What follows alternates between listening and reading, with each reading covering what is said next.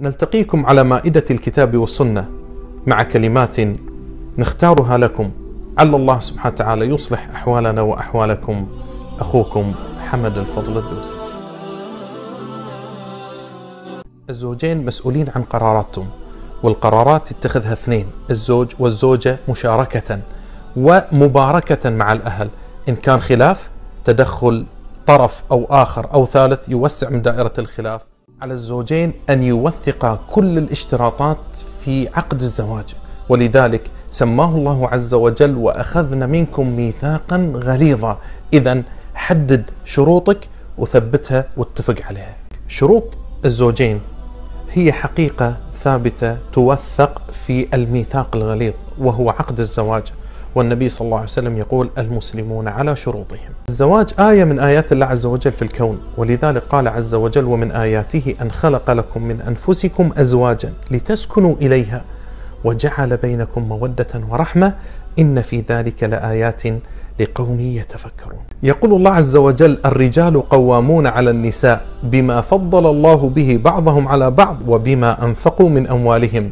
إذا مهما كانت المرأة غنية وتشتغل أنفق عليها. يقول الله عز وجل المال والبنون زينة الحياة الدنيا ومهما ملكت من أموال وسيارات وطائرات وبيوت وعقارات إلا أن النبي صلى الله عليه وسلم يقول خير متاع الدنيا المرأة الصالحة.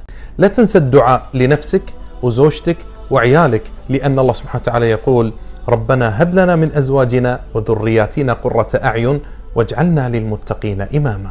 الزوجين مسؤولين عن قراراتهم مشاركة ومباركة بالأهل فإن كان خلاف فتدخل أطراف كثيرة من الأهل تسبب اتساع الخلاف. يقول الله عز وجل فابعثوا حكما من أهله وحكما من أهلها. هذه الآية تحتم على الزوجين اختيار شخصين حكيمين لحل مسائل الخلاف الشائكة. الجفاف العاطفي مشكلة يشتكي منها كثير من الأزواج. والله عز وجل يقول وجعل بينكم مودة ورحمة فابحثوا عن المودة والرحمة والحب فيما بينكم. يسأل كثير من الشباب شلون أختار زوجتي يا شيخ؟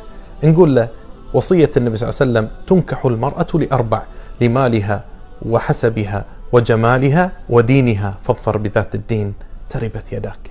تسأل البنت تقول تقدم لي كثير من الشباب فمن أختار؟ يقول النبي صلى الله عليه وسلم إذا جاءكم من ترضون دينه وخلقه فزوجوه إلا تفعلوا تكن فتنة في الأرض وفساد عريض.